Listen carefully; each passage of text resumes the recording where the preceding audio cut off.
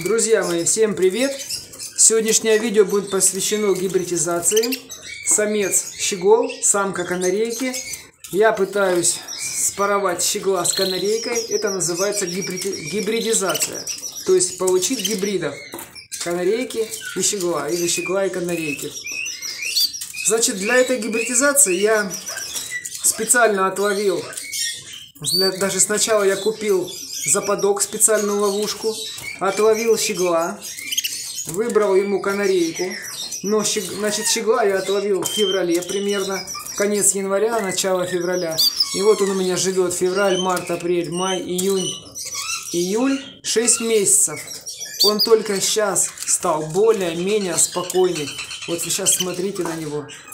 Он прыгает жердочки на жердочку. То есть для моего щегла это спокойное состояние, потому как ранее, когда я снимал вам видео, он бился в угол. Ну, в принципе, вот сейчас немножко было у него это. А так вот он уже, смотрите, адаптировался. Вот сейчас он, в принципе, даже пытается кушать семена дикорастущих трав. Я им положил. Сегодня у нас суданка, цикорий и какой-то неизвестный цветочек, я не знаю, как называется, но я видел, что его кушают его и канарейки, и, и щеглы на нем часто клюют, в дикой природе наблюдал. Вот, ребята, более-менее щегол мой адаптировался. Так вот, я в сегодняшнем видео хочу вместе с вами поделиться своим опытом, обсудить ошибки, чтобы в дальнейшем не, под, не, про, не повторились эти ошибки. Почему я говорю в дальнейшем? Потому как, друзья, гибридизация, это получать гибридов, это не очень, это не так просто, как, допустим, разводить канарей. Канарейк разводить гораздо проще. А вот как раз таки сегодня мы с вами поговорим о сложностях разведения гибридизации. Значит, для некоторые факторы, некоторые факторы, которые усложняют гибридизацию. Одним из них, и он такой самый будет весомый фактор, это поведение ухаживания самца за самкой. То есть у Кеннера свое поведение, у Щегла свое поведение. И вот когда эти поведения разные, им сложно спороваться. Ну и в общем, в общем, друзья, кто бы что ни говорил, легко это или, или сложно, гибридизация. У меня на сегодняшний день формировалось мое личное мнение, то что это сложно, но можно. Это очень затратное по времени занятие. Итак, для того, чтобы вам получить гибридов успешно, вам нужен как минимум год. Ну, это будет такая как бы модель сегодня проверенная. Возможно, есть некоторые ребята, у которых сразу все получилось. Там раз, поймал щегла, он подрос, и все было и получилось. Ну, в общем, я расскажу про свой метод, про свой способ и что я намерен делать. В общем, вот этот щегол был мной пойман в феврале месяце, примерно. Он был гораздо меньше, клюв у него был, кстати, меньше. Сейчас у него вон какой шнобель вырос. Так вот, э, пришла весна, самец на самку не среагировал, потому что он у меня 2-3 месяца сидел в стае. Щеглов, там их было 8 штук, потом я всю стаю выпустил. Затем я этого щегла посадил красной канарейки, потом к вот этой желтой. В общем, вся эта каша-малаша мной была сделана неправильно. Надо было сделать иначе.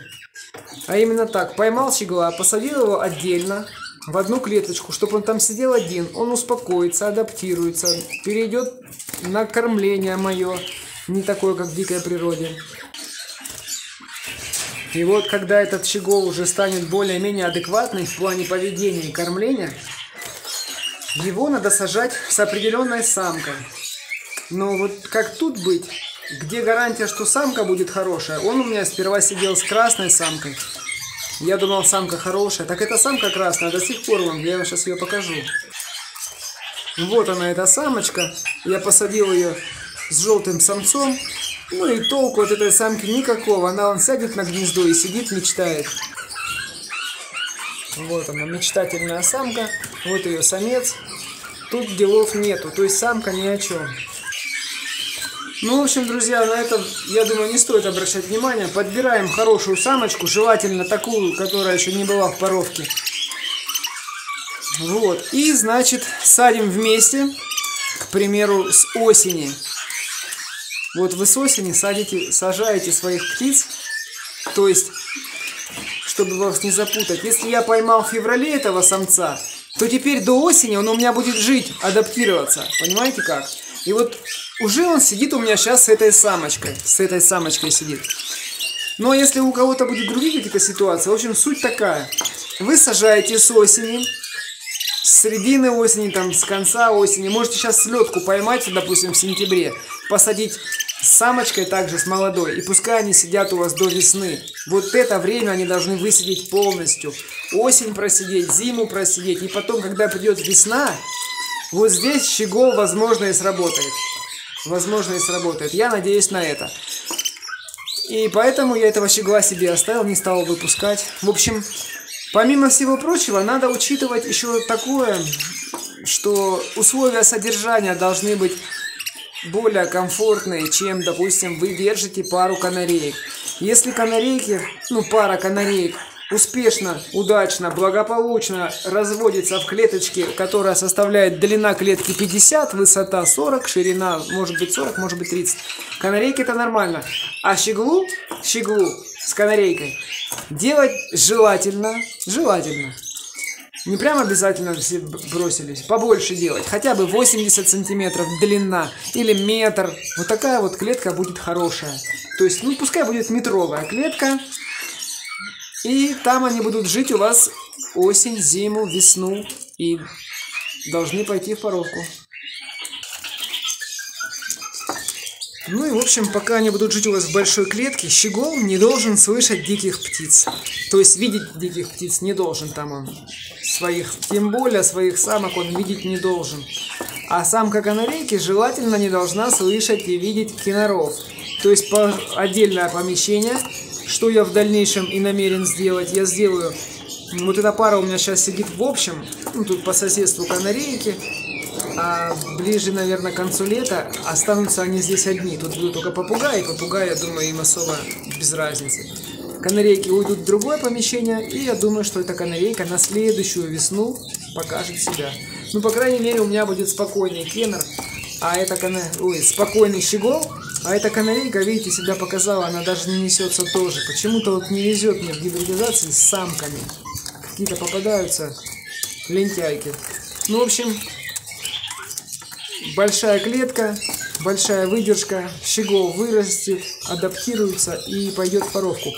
Да, есть такое еще, есть такое, часто встречается, что щеглы первое время, когда их самка канарейки ну, при, при, при гибридизации щеглы садят свою самочку на яйца, на гнездо, то щеглы разбивают гнездо. И заводчики говорят, вот все, гибридизация типа не получилась, надо бросать. Ребят, здесь тоже есть свой нюанс.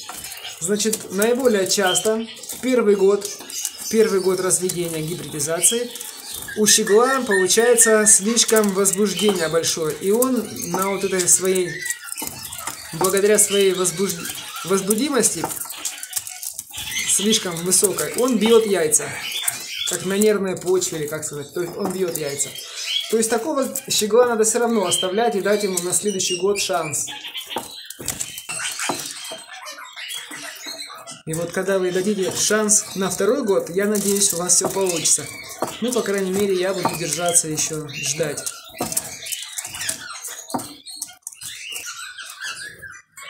Так что, друзья, я думаю, что все получится, надо только выждать время. И получим своих гибридов. В принципе, по гибридизации самые красивые считаются это гибрид щегла и канарейки. Они такие же все с красной мордочкой. Если желтая канарейка, то может быть желтоватая или зеленоватая брюшка. От оранжевых самочек получается розоватая брюшка. Так что, ребятки, не отчаивайтесь, не вешайте руки. Я сперва был отчаялся, хотел все это дело выпустить. Ну, потом пообщался с более опытными заводчиками, почитал литературу и пришел к выводу, что нужно еще ждать. Да, и как-то в комментариях мне писали, что вот самки гибридов, они никудышные, никченые, типа их выпускать надо, цены они никакой не стоят. Друзья, я узнал одну хорошую новость. Возможно, вы это знали, если кто-то не знал, вам будет полезно. Самки, гибриды, они не поют, абсолютно не поют, но они хорошие, они считаются хорошие на сетке. То есть под них можно будет подкладывать яйца. И они будут высиживать, будут выкармливать птенцов. Вот есть такая информация. Сам я это еще не проверял. Ну, я думаю, постепенно, если у меня удастся вывести гибридов, уже не в этом году, а в следующем году, надеюсь, получить от этого самца. Возможно, самку ему поменяю. Вот, значит, э, самцы будут петь. Поют, кстати, они очень красиво. Опять-таки, на вкус и цвет товарища нет, но поют они красиво. Вот, а самочек попробую, как наседок, как няни, как квочек, скажем так.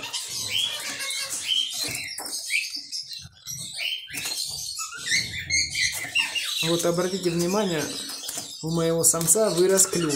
Он раньше был гораздо меньший клюв. Ну, я так полагаю, он взрослеет.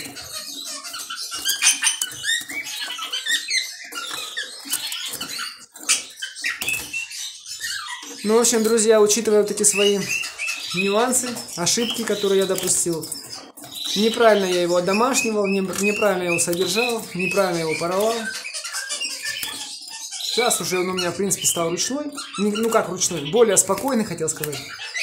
Да, и теперь с этим щеголом будем работать. Кстати, в конце осени, нет, в конце лета, в начале осени, когда разрешат сезон охоты, я снова продолжу охоту.